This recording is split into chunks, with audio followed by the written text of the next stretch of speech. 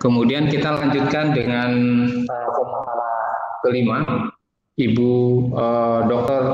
Uh, Mimi Sutrawati, SPMSI dari uh, PFI uh, Bengkulu.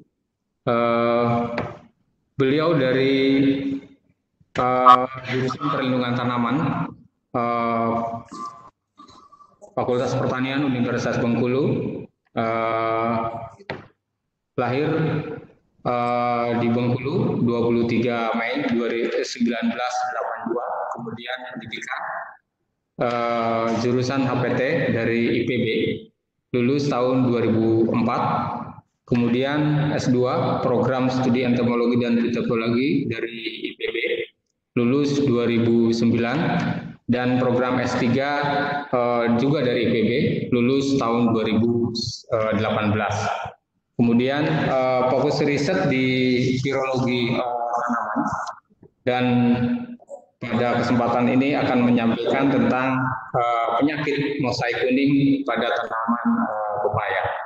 Uh, Ibu Dr. Mimi Sitrawati, kami persilakan.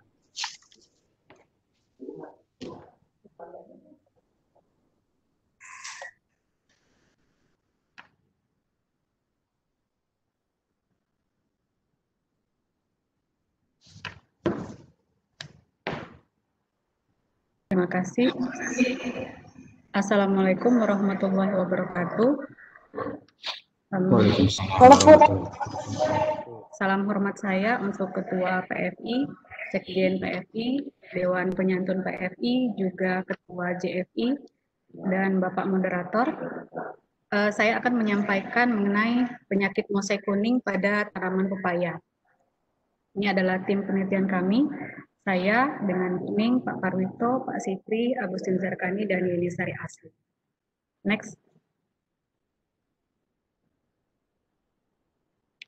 Uh, pepaya merupakan salah satu komoditas buah unggulan di Kabupaten Rejang Lebong dan Kepahyang di Provinsi Bengkulu yang eh, akhir-akhir uh, ini banyak dibudidayakan pepaya kalina selain pepaya lokal yang uh, menjadi khas Rejang Lebong. Kemudian uh, pepaya dijual dalam bentuk buah segar atau ada juga yang dijual dalam bentuk produk olahan berupa stik pepaya, permen jelly, manisan, dodol dan lain-lain. Next. Penyakit oleh infeksi virus yang pernah dilaporkan pada pepaya adalah papaya ring spot virus pada pepaya di Anggo Aceh Darussalam yang dilaporkan oleh Hidayat et al. 2012 Kemudian insidensi penyakit ini dilaporkan mencapai 100% pada budidaya pepaya di Jawa, Sumatera, dan Bali hingga 2017, namun belum pernah dilaporkan di Bengkulu.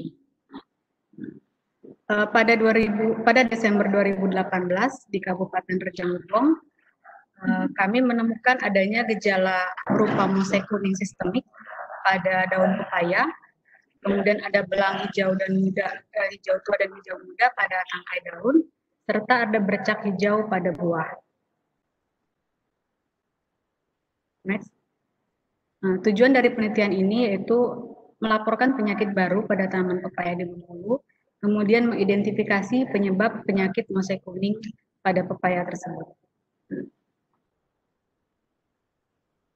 Eh, metode yang kami lakukan yang pertama uh, survei pada beberapa pertanaman pepaya di Kabupaten Rejang Lebong, Kabupaten Kepahyang, Kabupaten Bengkulu Tengah, dan Kabupaten Seluma. Ini adalah peta Provinsi Bengkulu dan empat kabupaten yang saya sebutkan uh, berdekatan posisinya. Ada Rejang Lebong, Kepahyang, Seluma, dan Bengkulu Tengah. Kemudian sampel tanaman yang kami peroleh dari lahan uh, digunakan untuk deteksi virus di lab genetika dan biologi molekuler di jurusan biologi FMIPA Universitas Bengkulu. Selanjutnya. Ya, kami melakukan dua tahapan uh, deteksi yaitu untuk mendeteksi RNA juga DNA. Untuk RNA kita gunakan dua jenis primer yaitu PRSP dan potivirus ekstraksi RNA total menggunakan kit ekstraksi RNA dari Viogen, dilanjutkan dengan sintesis cDNA menggunakan uh, RT-PCR, kemudian uh, visualisasi DNA pada agar gel. Selanjutnya. Nah, ini adalah primer yang digunakan untuk PRSP dan uh, program PCR yang kami gunakan sesuai dengan uh, petunjuk berikutnya. RT-PCR untuk virus dengan target 320 pasang basah menggunakan uh, primer untuk virus pada sebelum protein dengan program PCR seperti yang saya tampilkan pada slide ini. Berikutnya. PCR untuk begomovirus dengan target sequence 900 pasang basah, uh, ekstraksi DNA menggunakan CTAP buffer, dilanjutkan dengan amplifikasi DNA, kami gunakan primer SPG1, SPG2, kemudian divisualisasi pada gel agarose 1% dengan pewarnaan ETBR. Selanjutnya. Ini adalah beberapa tampilan gejala yang kami peroleh di lapangan yang gejala paling dominan adalah mosaik kuning sistemik. Jadi warna daunnya menguning, mulai dari daun muda sampai daun yang tua. Kemudian ada juga gejala berupa mosaik kuning dengan pusat e, bercak warna gelap. Selanjutnya yang ketiga adalah malformasi daun. Kemudian ada bercak hijau pada buah, juga ada mosaik hijau tua hijau muda pada tangkai daun. Nah, kelima gejala ini kami temukan pada tanaman kalina, varietas kalina atau petani lebih mengenalnya dengan uh, California.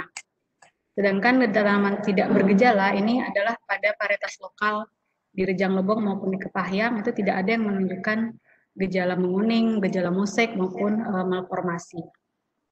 Next. Ini adalah insidensi penyakit mosaik kuning pada pepaya di Bengkulu pada beberapa desa di Kabupaten Rejang Lebong. Gejala mosaik kuning pada Kalina itu 100% di Desa Airbang. Kemudian eh, di Desa Lubu Ubar juga eh, 44,70 persen ya, hampir setengahnya. Dan eh, pada dua lokasi ini tanaman Kalina dan lokal ditanam pada lahan yang sama, tetapi tidak ada gejala pada varietas lokal.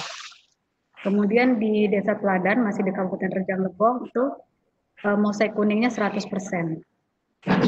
Di selanjutnya di Desa Rindu Hati, Kecamatan Tabak Penanjung, Bengkulu Tengah, 100% dengan gejala menguning dan bercak gelap. Ada bercak dengan pusat bercak warna gelap.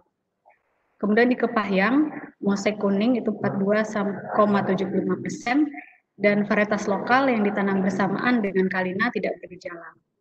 Selanjutnya di Kabupaten Seluma, pepaya kalina juga dan insidensinya 100% untuk uh, gejala menguning dengan bercak gelap. Next.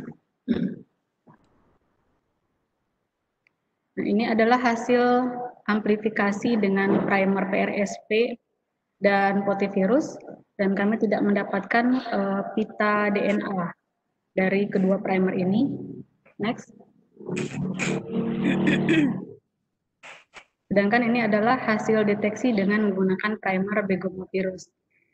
Uh, ini ada saya tampilkan di tabel di sampingnya. Kami gunakan di marker 100 pasang basah. Uh, tanaman yang bergejala kerdil, mosaik kuning, kemudian mosaik kuning sistemik, klorosis itu menunjukkan pita DNA 900 pasang basah. Kami bandingkan juga ini dengan uh, ada cabai yang kuning keriting di lokasi yang sama, uh, dideteksi dengan primer yang sama, menghasilkan pita 900 pasang basah. Next. Nah, kemudian pertanyaannya, karena kami lihat di lapangan itu insidensi hampir 100% pada beberapa lokasi, apakah mungkin uh, virus ini bersifat tular benih. Jadi biji dari tanam dari buah sakit dari tanaman yang sakit uh, dari lahan kami semai. Kemudian ini adalah gejalanya pada umur satu bulan dan tiga bulan. Jadi gejala mosaik kuning uh, terlihat pada daun mulai dari daun muda. Dan kita deteksi juga sampel daun ini yang menghasilkan uh, pita DNA yang sama 900 pasang basah uh, pada gambar ini. Jadi 900 pasang basah ini pada semua sampel yang sampel bibit yang uh, kita deteksi. Next. Nah, kemudian uh, sepanjang pengetahuan kami belum pernah dilaporkan adanya begomovirus pada pepaya. Jadi uh, dari studi literatur diketahui infeksi begomovirus pada pepaya itu pernah dilaporkan di Cina, yaitu papaya leaf China virus dan papaya leaf Guangdong virus. Itu tahun 2007. Kemudian dilaporkan juga di Taiwan uh, virus yang sama, papaya leaf virus juga di India pada 2010 dengan gejalanya adalah daun keriting, petiol memuntir, enasi daun, dan kerdil. Next. Nah, dari literatur tersebut juga disebutkan bahwa tanaman yang terinfeksi virus ini menghasilkan buah yang relatif kecil dan kemudian tanaman mati prematur. Dan e, diketahui faktornya adalah Bemisia tabaci.